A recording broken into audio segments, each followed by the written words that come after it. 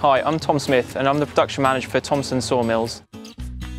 We're the largest supplier of fencing and pallet timber in the east of England, providing quality products to trade, retail and bulk customers.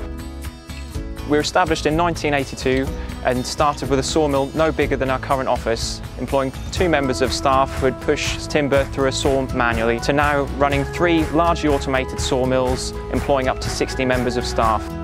My role as production manager is to oversee the quality of our products, the production aspect, health and safety and the general running of the site.